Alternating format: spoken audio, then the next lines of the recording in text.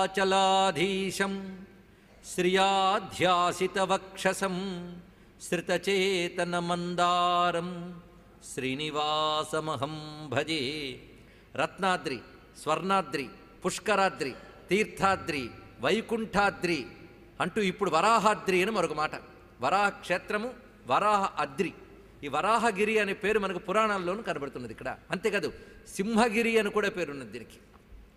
అది శ్రీ నృసింహాయ మంగళం సింహాచల నివాసాయ అంటూ వెంకటేశ్వర అష్టోత్తర శతనామాల్లో సింహాచల నివాసాయ అని వస్తుంది. సింహాచలం అనగానే మనకి విశాఖపట్నం దగ్గర ఉన్న సింహాచలం అని ఇక్కడ అర్థం కాదు. సింహాచలం అనే పేరు కూడా ఈ భవ్యమైన వెంకటగిరికి ఉన్నది. ప్రథమంగా ఉన్నది వరాహగిరి తర్వాత ఆదిశేషుడు స్వరూపం గనక శేషాద్రి గరుత్మంతుడు తెచ్చాడు గనక గరుడాద్రి నారాయణుడు ఉన్నాడు గనక నారాయణాద్రి. ఇవి వైకుంఠానికి సంబంధించిన పేర్లన్నీ ఇక్కడ కనబడుతున్నాయి ఇక్కడ. అంతేకాదు శ్రీకృష్ణదేవరాయలు వెంకటపతికి చేసిన కైంకర్యం అంతా ఇంతా కాదు. ఆ మహానుభావుడు చారిత్రకంగా మనం పరిశీలిస్తే వెంకటగిరి నాథుడే తన సర్వస్వంగా భావించినటువంటి మహాత్ముడు. పరమ వైష్ణవ భక్త శిఖామణి అందున విష్ణు అంటే ఆయనకు వెంకటేశ్వర స్వామియే. అలాగ కొలుచుకున్నాడు. ఆయన ఒక ధర్మశాస్త్రం రాయించి తిరుమల స్వామికి సమర్పించినటువంటి పత్రాల్లో చూపించాడు. అందులో ఒక శ్లోకం ఉంది. అది ఇక్కడ అందించడం జరుగుతుంది. ఇలా అనేక శాసనాలు రకరకాల శాస్త్రాలు విభిన్న పురాణాలన్నీ కలబోసి మథనం చేసి అందిస్తున్నాం గనక సద్గ్రంథాన్ని ఒక గ్రంథం కాదు అనేక గ్రంథాలు కలబోతగా మనం వ్యాసపీఠంపై స్వామి చరిత్రను ఉంచి ప్రమాణ బుద్ధితో చెప్పడం జరుగుతోంది ఇక్కడ. కృష్ణదేవరాయలు ఇచ్చిన శ్లోకం ఒక అద్భుతమైన మంత్రంలా ఉన్నది. హరేర్ లీలావరాహస్య దంష్ట్రాదండ సపాతు హేమాద్రి కలసాయత్ర ధాత్రి ఛత్రశ్రియం దధౌ. ఈ శ్లోకం రాసి ఉంటుంది ధర్మశాస్త్రం మీద? కృష్ణదేవరాయలు ఇచ్చిన శాసనం మీద. హరేహే లీలావరాహస్య అంటే విష్ణువు ధరించిన లీలావరాహ రూపం యొక్క దంష్ట్రా దండము మనల్ని కాపాడుగాక అని ఒక మాట అన్నారు ఇక్కడ. అంటే ఆయన యొక్క కోర మనల్ని కాపాడాలి. ఎందుకంటే భూమిని ఉద్ధరించింది ఆ దంష్ట్ర ఆ భూమిపై ఉన్నాం మనం. అందుకు మనల్ని కూడా ఉద్ధరించాలి అని మొత్తం మీద వరాహస్వామి స్మరణయే మనల్ని ఆపదల నుంచి ఉద్ధరిస్తుంది. అందులో దంష్ట్రని మరీ స్మరించుకోవాలి. అందుకే శంకర భగవత్పాదుల వారి సౌందర్యలహరిలో వివరిస్తూ అత్యద్భుతమైన మాట చెప్పారు. అవిద్యానామంత స్థిమిరమిహిర ద్వీపనగరి జడానాం చైతన్య స్తవక మకరంద శృతిజరి దరిద్రాణం చింతామణి గుణనిక జన్మజలధౌ నిమగ్నానాం దంష్ట్రా మురరిపు వరాహస్య భవతి అన్నప్పుడు ఉద్ధరించే శక్తి దానుకున్నది అంతేకాదు వరాహస్వామి స్మరణ వల్ల దేవయజ్ఞ పితృయజ్ఞములు రెండు చేసిన ఫలితం లభిస్తుందట. అది వేదమునందు కొన్ని మంత్రాల్లో పితృయజ్ఞకారకుడైన వరాహస్వామికి నమస్కారం చేశారు. మొట్టమొదటిగా వరాహస్వామి భూమిని ఉద్ధరించిన తర్వాత తన కోరకి అంటుకున్న మట్టి ముద్దను తీసి మూడు పిండములు చేసి పితృ పితామహ ప్రపితామహ వసురుద్ర ఆదిత్య రూపాలతో మొట్టమొదటి పితృదేవత అర్చన చేసేట మహానుభావుడు చూడండి ఇక్కడ. ఇది భారతంలో కూడా కథస్తున్నది వేద మంత్రములందు కనబడుతున్నది ఇక్కడ. ఆయనకి తండ్రి ఎవరు? ఆయనకి తాత ఎవరు? ఆయనకి ముత్తాత ఎవరు ఉంటే ఆయనకి తండ్రి ఆయనే ఆయనకి తాత ఆయనే ఆయనకు ముత్తాత ఆయనే. స్వయంభు. అంటే తనదైన శక్తులని పితృదేవతలుగా ఆవహింపజేశాడు ఆయన ఇక్కడ.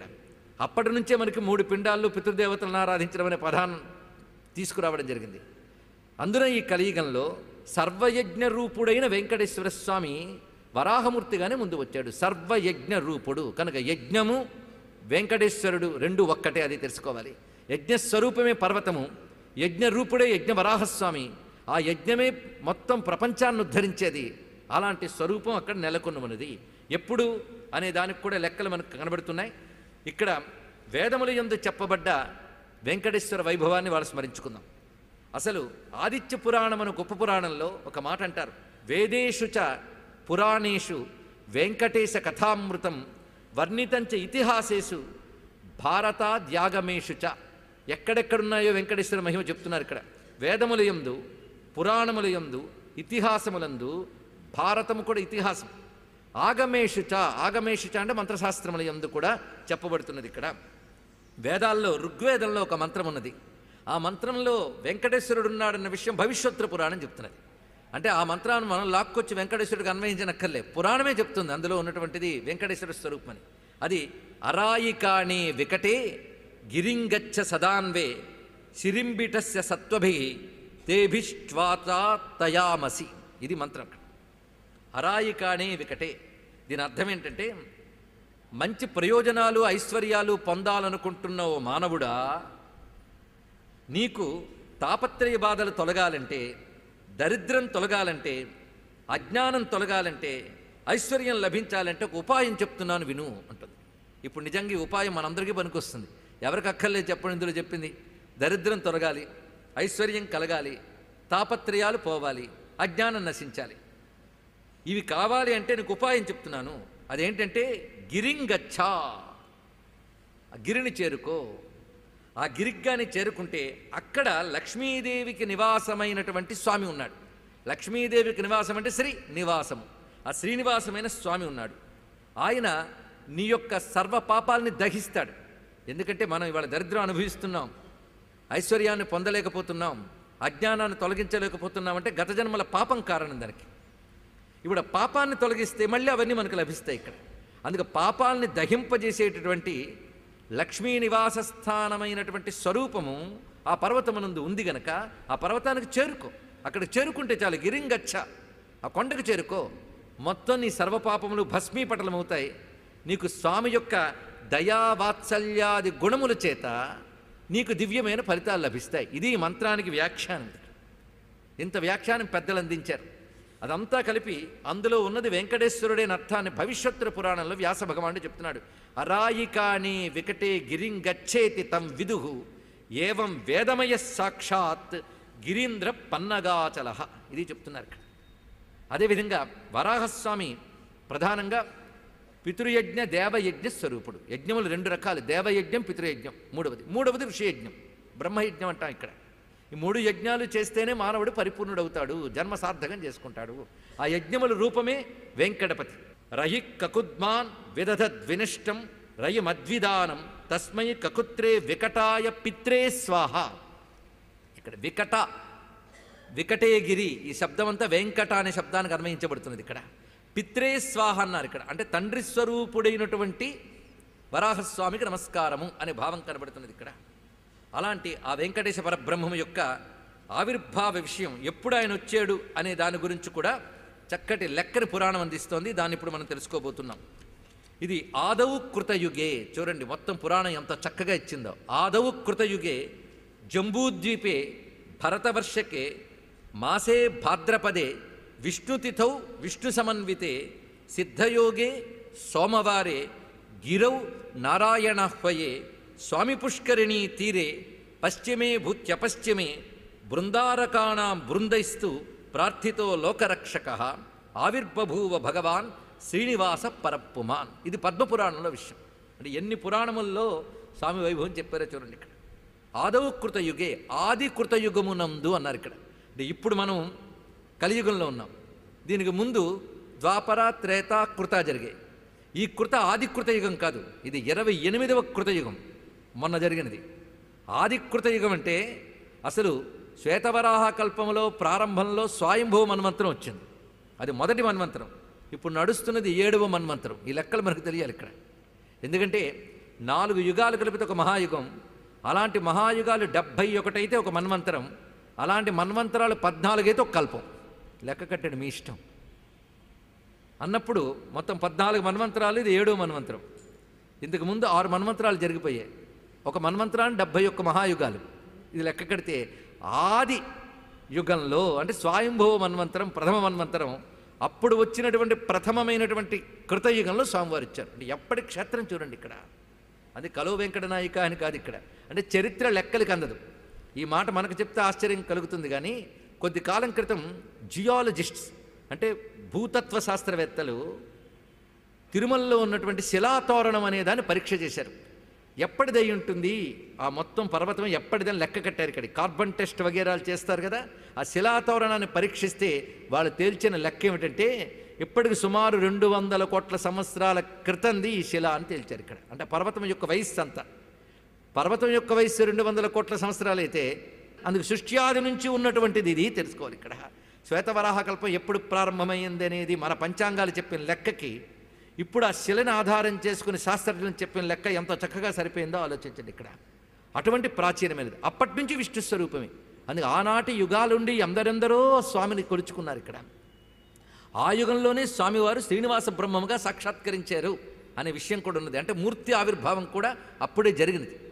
ప్రస్తుతం చూస్తున్న ఆలయం ఇవన్నీ కూడా కాలక్రమేణా శిథిలాలవుతూ మార్పులు జరుగుతూ ఇన్ని రూపాలు ధరించి మనకు కనబడుతున్నది కానీ స్వామి యొక్క మూర్తి అలాగే ఉంటుంది. అంతేకాదు కృతయుగాది మహాయుగాల్లో భగవత్ స్వరూపాలు శిలాది రూపాల్లో కనబడవు. అది కూడా తెలుసుకోవాలి ఇక్కడ. కేవలం క్షేత్రం ఉంటుంది. అక్కడ దేవత ఉంటాడు. మహాత్ములైన వారు తపస్సు చేసి దర్శనం చేస్తారు. ఆ స్థితి లేని వారు ఆ క్షేత్రానికి వెళ్ళి ధ్యానం చేసి ఆరాధన చేసుకొని వస్తారు. కానీ అక్కడ ఏదో ఒక రూపం కనబడాలని ఉద్దేశం ఏర్పడినప్పుడే ఆలయాలు ఇవన్నీ ఏర్పడతాయి కానీ ఆదియందు స్వామి తన దివ్యమంగళ విగ్రహంతోనే అక్కడ ప్రకాశించాడు. వెంకటేశ అనేది విష్ణువు యొక్క ఒకనొక మూర్తి విశేషమైన మూర్తి. ఆ మూర్తి ప్రత్యేకంగా ఉంటుంది. అది ఆదిలో బ్రహ్మదేవుడు తపస్సు చేస్తూ ఉంటే బ్రహ్మకు గోచరించింది ఆ రూపము అన్నారు ఇక్కడ. ఆ గోచరించిన రూపమే చాలా కాలం అక్కడ దేవతలందరి చేత ఆరాధింపబడుతుంది. అనంతర కాలంలో మహర్షులు తపస్సులు చేసి అందరికీ కనబడాలి ఈ మూర్తి అయ్యా అని ప్రార్థన చేస్తే అప్పుడు అది శిలామూర్తిగా గోచరిస్తూ ఉన్నది అని చెప్పారు. మొత్తానికి వెంకటేశ్వర మూర్తి మాత్రము సామాన్యమైన మూర్తి కాదు. అది ఆగమాలకు కూడా అతీతమైన స్వయంభూ రూపము. స్వామి తనంత తాను వ్యక్తపరుచుకున్నాడు అలాంటి రూపం. అలాంటి రూపం మీరు ఎక్కడ చెక్కినా మళ్ళీ వెంకటేశ్వరుడు అనాల్సిందే. ఆ రూపం మొట్టమొదటి బ్రహ్మదేవుడికి దర్శనమిచ్చింది ఇక్కడ. ఆ బ్రహ్మదేవుడికి వెంకటేశ్వరుడు ఒక మంత్రాన్ని కూడా ఉపదేశిస్తాడు. మనందరికీ అది మహామంత్రం అవుతుంది ఇక్కడ.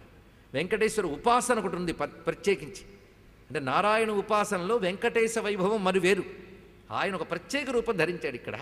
మొత్తం మీద ఆ పర్వతం ఏర్పడడం కానీ శ్రీనివాస బ్రహ్మము రావడం కానీ ఆది కృతయుగంలో జంబూద్వీపమైన భరతవర్షంలో భాద్రపద మాసంలో విష్ణుతిథి నాడు సిద్ధయోగము సోమవారం.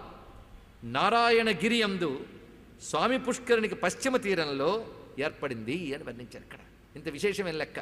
అంతే కదా అనేక పురాణాల్లో భౌగోళికంగా ఎక్కడుందో క్షేత్రం బొమ్మ గీసినట్టు వర్ణించారు. గంగాయాహ దక్షిణీ భాగే. ఏమండి నేరుగా ఇక్కడికి వచ్చేసి సముద్రం పక్కనో కావేరీ పక్కనో గోదావరి పక్కన వర్ణించవచ్చు కదా? గంగతో ఎందుకు మొదలుపెట్టారు? అంటే ఆ గంగ పుట్టిన హిమాలయాలు మొదలుకుని కావేరీ సముద్రం వరకు కూడా భారతదేశం అంతా ఒక్కటే అని ఆనాడు పురాణాల్లో చెప్పారని తెలుసుకోవాలి ఇక్కడ. అందుకు ఆ మాట గంగాయాహ దక్షిణే భాగే. చక్కటి లెక్క.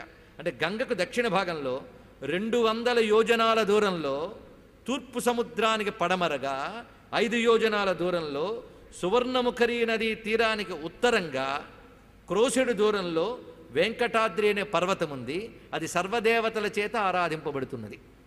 ఎంత చక్కటి లెక్కిచ్చారు చూడండి. అదే పురాణాలు ఇంత ఖచ్చితమైన లెక్కలు ఇస్తున్నాయి. గంగాయాహ దక్షిణే భాగే ద్విశతి యోజనే ద్విజ పూర్వాంబోధే పశ్చిమేతు పంచభిర్యోజనైర్మితే సువర్ణముఖరీ తీరే చ ఉత్తరే క్రోశమాత్రకే వెంకటాద్రితి ఖ్యాత సర్వలోక నమస్కృత ఇది వర్ణన ఇక్కడ. అని సువర్ణముఖరి ప్రధానంగా తీసుకున్నారు. ఆ సువర్ణముఖరి నదీ తీరంలో ఎన్ని దివ్యక్షేత్రాలు ఉన్నాయండి? శ్రీకాళహస్తీశ్వరుడు మొదలుకొని అనేక దివ్యక్షేత్రాలన్నీ పాద ప్రాంతంలో కనబడుతుంటాయి. పర్వతం వెంకటమూర్తి విష్ణువు స్వరూపంగా మనకు గోచరిస్తున్నది. అలాంటి దివ్యమైన పర్వతాలకున్నటువంటి పర్వతాలకు ఉన్నటువంటి పేర్లని చెప్తూ భూయాంసి సంతి భువనోత్తమ పావన అని అంటుంది పురాణం. అంటే భువనోత్తమైన నామములు చాలా చాలా ఉన్నాయి అని వివరిస్తుంటే అలాంటి దివ్యక్షేత్రంలో సప్తగిరుల విషయం ఏమిటి? అది వాళ్ళు మనం తేల్చుకోవాలి ఏడు కొండలకి ఏడు పేర్లు కాదు నాయన. మొత్తం కొండంతటికి పేర్లే ఏడుగా చెప్పారు. ఏడు చెప్పారు కానీ ఇంకా చాలా ఉన్నాయన్నారు. మరి ఏడు కొండల వాడిని ఎందుకు పేరు వచ్చింది ఏడుకొండలవాడు వాడు ఇవాళ నిన్న మొదలైన పేరు కాదు కదా. ఏనాటి నుంచో వస్తున్నది. సప్తగిరి వాసుడిని ఒప్పుకోవలసిందే. ఏమై ఉంటుంది రహస్యం? ఈ రహస్యం అత్యద్భుతమైనటువంటి విషయాన్ని మనకు అందిస్తోంది ఇక్కడ. ఎందుకంటే ఆదిశేషుడే పర్వతంగా వచ్చాడు. వచ్చినప్పుడు ఏడు పడగలతో వచ్చాట ఆదిశేషం కనుక మొత్తం పర్వత శ్రేణి అంతా కూడాను ఆదిశేషువైతే ఆ ఏడు పడగలు ఏడు శిఖరాలుగా ఉంటాయి ఇక్కడ. ఆ ఏడు శిఖరాలతో కూడిన దగ్గరకు సప్తగిరులు. ఆ స్వామి మలయప్ప ఆయన. అది కూడా మలకోన. కోన అంటే శిఖరాల నడుమ ఉన్న ప్రాంతము అని అర్థం. కనుక ఆ శిఖరాలు ఏడు ఉన్నాయి కనుక సప్తగిరులు. కానీ శిఖరాలకు పేర్లు లేవు. అది తెలుసుకోవాలి ఇక్కడ. మనం అనుకునే ఏడు కొండల పేర్లు దాన్ని పెట్టడానికి లేదు. ఏడు శిఖరాలతో ఉంది అని తెలుసుకోవచ్చు ఇక్కడ.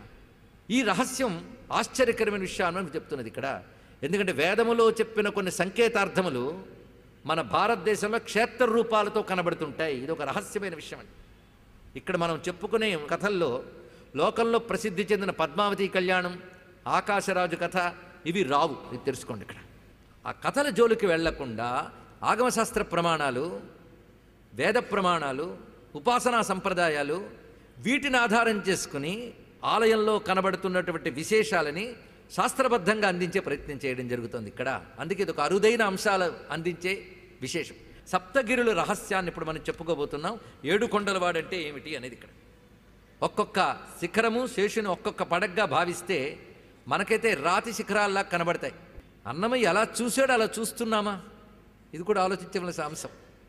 ఆయన ఎలా చూశాడు? హరివాసం అది. హరివాసము. అంటే సాక్షాత్ విష్ణువు అక్కడ వసిస్తున్నాడు. ఈ భావన కలగాలని. ఈ భావన కలిగితే తన్మయులం అవుతాం. అందుకే తన్మయుడిపోయాడు అన్నమయ్య.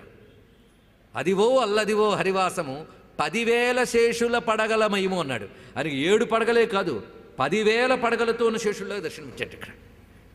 ఆయనకి ఆదిశేషువు ఒక్కొక్కప్పుడు సప్తఫణాలతోనూ కనబడతాడు ఒకప్పుడు అనంత ఫణాలతోనూ కనబడతాడు. ఎందుకంటే ఆయన అనంతుడు. సహస్రఫణుడు అని పేరు ఆయనకి. కానీ సహస్రఫణ సర్పశైలం. సర్పశైలం అనే మాట కూడా పురాణాల వలె కనబడుతుంది ఇక్కడ. అటువంటి పదివేల శేషుల పడగలమయం వెయ్యి అంటే అనంతమని అర్థం ఇక్కడ. అందుకే పదివేలు అంటే అనంతమైన ఫణాలతో ఉన్నటువంటి వాడు. పైగా ఇది సామాన్యమైనది కాదు. బంగారు శిఖరాల బహు బ్రహ్మమయము అన్నాడు ఇక్కడ. అంటే ఆ పర్వతాల నుంచి ఒక జ్యోతిర్మయమైన కాంతి పుంజం వెలువడుతుందట. దీనికి సంబంధించి ఒక రహస్యం వైజ్ఞానికంగా బయటపడింది. కొన్ని దశాబ్దాల క్రితం రష్యా దేశానికి సంబంధించి ఒక విజ్ఞాన శాస్త్రవేత్త కిర్లియన్ ఫోటోగ్రఫీ అని ఒక ఫోటోగ్రఫీతో ఒక వస్తువు నుంచి కొన్ని తరంగాలు వస్తాయి అని చెప్పాడు ఇక్కడ. కాంతి తరంగాలు శక్తి తరంగాలు. అదే నెగిటివ్ వస్తువు అంటే విపరీత వస్తువు అయితే దాని నుంచి దుష్ట తరంగాలు వస్తాయి. అదే చక్కని వస్తువు అయితే దివ్య తరంగాలు వస్తాయి అన్నాడు. ఆ లెక్క కట్టి తిరుమలని ఆ ఫోటోగ్రఫీతో చూస్తే మొత్తం బంగారు కాంతులు కనబడ్డాయి చుట్టూ చూడండి ఇక్కడ. సంపూర్ణమైన దివ్య తేజోమయం.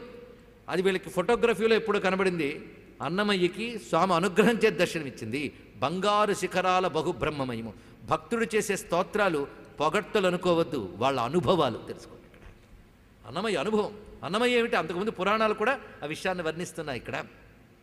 పైగా అదివో బ్రహ్మాదులకు అపురూపం అటువంటి ఆ పర్వతంలో సప్తగిరుల గురించి మనం చూస్తే ఫణామణి ప్రదేశోయం వెంకటాద్రి ఋతుస్మృత శేషాద్రి వృషభాద్రిశ్చ నారాయణ గిరిస్తథ ఇప్పుడు ఆ సప్త శిఖరాల కథని వేద ప్రమాణాలతో మనం దర్శిస్తే ఒక ఆశ్చర్యకరమైన అంశం బయటపడుతుంది. వేదమునందు కృష్ణయజుర్వేదంలో ఒక అత్యద్భుతమైన ఘట్టం ఉంది.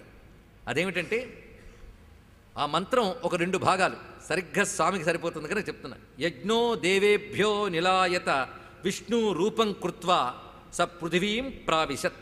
వరాహోయం వామఘోష సప్తానాం గిరీణాం పరస్తాద్విత్తం వేద్యమసురాణాం బిభర్తి తం జహి. ఇది మంత్రం వస్తుందండి సరిగ్గా. ఇందులో సప్తానాం గిరీణాం పరస్తాత్ విత్తం. చక్కగా ఉంది చూడండి. ఏడు గిరులకి ఆవల ఒక గొప్ప సంపద ఉన్నది. ఇది చూపిస్తున్నారు వరాహోయం వామఘోష. వామఘోష అంటే అందమైన ధ్వని అని అర్థం ఇక్కడ. అందమైన ధ్వని అంటే వేదధ్వని. ప్రణవధ్వని.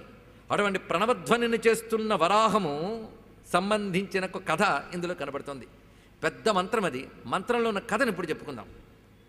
ఒకప్పుడు స్వర్గలోకంలో ఉన్న యజ్ఞపురుషుడు స్వర్గం నుంచి వెలికి వచ్చాడు. వచ్చి ఏం చేస్తున్నాడంటే సోమయజ్ఞంలో మొత్తంగా ఉండేటువంటి భాగములు ఎనిమిది ఉంటాయట. ఎనిమిది భాగములు. అవేంటంటే దీక్ష ఉపసత్తు సుత్య అనేది. ఈ మొత్తం ఈ మూడింటితో కూడిన సోమయాగము ఎనిమిది రోజుల పద్ధతి. ఎనిమిది రోజుల్లో మొదటిది నాలుగు దీక్షలు మూడు ఉపసత్తులు ఒక సుత్య అని ఉంటుంది ఇక్కడ. ఇది కలిపితే మొత్తం సోమయజ్ఞం. ఈ సోమయజ్ఞ ఫలం లోకరక్షణ. అలాంట మొదటిది నాలుగు మూడు. ఈ రెండిటిని పట్టుకుని ఎనిమిదేవిదైన సుత్యకి అధిదేవతగా ఉన్న వరాహమూర్తి స్వర్గం నుంచి వెలికొచ్చేసాడు మొత్తం యజ్ఞం యొక్క స్వరూపము దాని ఫలము పట్టుకుని ఎప్పుడైతే వెనక్కి వచ్చేసిందో స్వర్గం నుంచి ఇంద్రుడికి భయం పట్టుకుంది. ఎందుకంటే యజ్ఞఫలం వల్లనే ముల్లోకాలు క్షేమంగా ఉంటాయి. ఆ యజ్ఞస్వరూపంతో ఇప్పుడు బయటకు వెళ్ళిపోయింది. అప్పుడు ఆ వరాహస్వామి వెనక వెళ్తున్నాడు ఇంద్రుడు. ఆయన దొరకకుండా ఆయన వెళ్ళిపోతున్నాడు. వెళ్ళి ఏం చేశాడంటే ఆ సుత్య రూపానికి అధిపతిగా ఉన్నటువంటి వరాహస్వామి మిగిలిన ఏడింటిని కొండలుగా చేశాడు. నాలుగు దీక్షలు మూడు ఉపసత్తులు. వీటిని కొండలుగా చేసి ఆ పైన వెళ్ళి కూర్చున్నాడు ఆయన. ఇంద్రుడు వచ్చి చూశాడు స్వామి ఏమిటయ్యా ఇలా చేసావు ఆ యజ్ఞఫలాన్ని ఎందుకు అలా ఇచ్చావు? నువ్వు అలా పెట్టుకుంటే అది అసురులకు దక్కుతుంది. అసురులకుగానే దక్కితే లోకానికి క్షేమం కాదు. అందుకు యజ్ఞఫలాన్ని గ్రహించడానికి సిద్ధంగా ఉన్న అసురుల్ని పరిమార్చి యజ్ఞఫలాన్ని మాకు ప్రసాదించు అని అంటే అది సప్తానాం గిరీణాం పరస్తాద్విత్తం అసురుణాం బిభర్తి అనే మంత్రంలో ఇది కనబడుతుంది ఇక్కడ.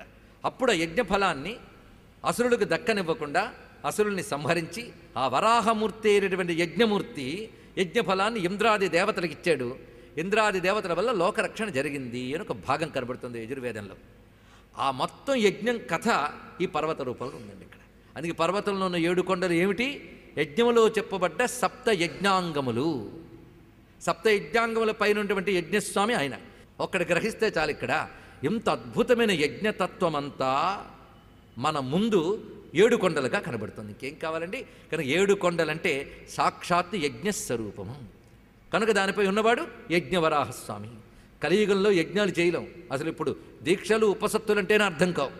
అది వెంకటేశ్వర స్వామికి తెలిసి కలియుగంలో యజ్ఞాలవి చేసి తరించలేరు గనక యజ్ఞస్వరూపాన్ని కొండలుగా మార్చి యజ్ఞస్వరూపుణ్ణి నేను నేను దాని మీద ఉంటాను. నా కొండకొచ్చి ఎవరు నన్ను కొరుచుకుంటారో వారికి యజ్ఞాలు చేసిన ఫలితం ఇస్తానన్నాడు. అది తెలుసుకోవాల్సింది. అది యజ్ఞాద్రి. అందుకే మొత్తానికి వెంకటాద్రి యజ్ఞాద్రి. యజ్ఞో యజ్ఞపతి యజ్వా యజ్ఞాంగో యజ్ఞవాహన. అంత రహస్యం ఉన్నది. కనుక వెంకటాద్రికి ఏడు కొండలని పేరు వేదము ద్వారానే మనం తీసుకున్నాం. ఏడు కొండలకు సంబంధించిన ఇంత అంశం ఉంది గనకనే ఏడు కొండలవాడ వెంకటరమణ గోవింద గోవింద. ఆ వరాహస్వామికి గోవిందుడిని పేరు. ఎందుకంటే భూమిని రక్షించాడు అని. మన ఇంటిని రక్షించాడంటే మనల్ని రక్షించినట్టే కదా. కనుక భూమిని రక్షించాడంటే అర్థం ఏంటి? భూమిలో ఉన్న అందరినీ రక్షించాడు ఇక్కడ. ఆయన లేకపోతే భూమి కునికెక్కడా? ఆధారం ఎక్కడా? భూమి ఎవడి ఆకర్షణ శక్తి చేత నడుస్తున్నదో ఆ కర్షణ స్వరూపుడైన కృష్ణుడే వరాహస్వామి. ఆయన గోవిందుడు అని తెలుసుకుంటూ ఆ ఏడు కొండల స్వామిని బాగా కొలుచుకున్న మహాత్ములు అందరూ ఉన్నారు కానీ అన్నమయ్య వెంకటేశ్వరుడికి సంబంధించిన అన్ని విషయాలు కీర్తనలో పెట్టాడు మహానుభావుడు. వాటిలో కొన్ని కొన్ని తలంచుకుంటే శ్రీ వెంకటేశుడు శ్రీపతియునితడే పావనపు వైకుంఠపతియును నితడే భాగవతములో చెప్పే బలరాము తీర్థయాత్ర. ఆయనకి వెంకటేశ్వరుడు అంటే తిరుమలన్న ఎంత ప్రేమ చూడండి. ఇది ఎప్పటి నుంచో ఉన్న క్షేత్రమయ్యా ఇది కొత్తదేం కాదు. ఎందుకంటే పురాణాల్లో ఇతిహాసాల్లో ఉంది. భాగవతములో చెప్పే బలరామ తీర్థయాత్ర. ఆగమోక్తమైన దైవత మాతడీతడే. బాగుగా బ్రహ్మాండ పురాణ పద్ధతి ఇతడే. యోగమై వామన పురాణోక్త దైవమీతడే. శ్రద్ధగా విన్నవాళ్ళు ఇప్పటికి ఎన్ని గ్రంథాలు అన్నమయ్య చెప్పాడో చూడండి ఇక్కడ. అంటే వెంకటేశ్వరు గురించి ఎక్కడెక్కడున్నాయో చెప్తున్నాడు. అన్ని చదివాడు అన్నమాచార్యుల వారు అంతేకాదు అన్నమాచారుల వారు సంస్కృతంలో వెంకట మహాత్మ్యం ఒకటి రాశారు అని పురాణాలు మనకు చెప్తూ ఉన్నాయి. కానీ అది ఎక్కడ లభ్యం కావడం లేదు. తెలుగులో తరికుండ వెంకమాంబ అత్యద్భుతంగా వెంకటాచల మహాత్మ్యం అనే పుస్తకాన్ని రచించిందండి ఆ తల్లి. ఎందరి భక్తులు స్వామి కైంకర్యాలు చేసుకున్నారో. ఆ తరికొండ వెంకమామ చరిత్ర అత్యద్భుతం. ఆవిడ వెంకటేశ్వర స్వామిని చూసిన వైనం చాలా బాగుంటుంది ఇక్కడ.